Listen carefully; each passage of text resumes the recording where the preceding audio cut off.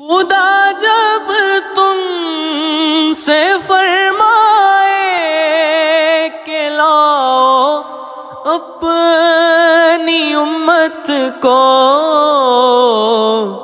हमारी भी तरफ़ करना इशारा या रसूल अल्लाह इशारा या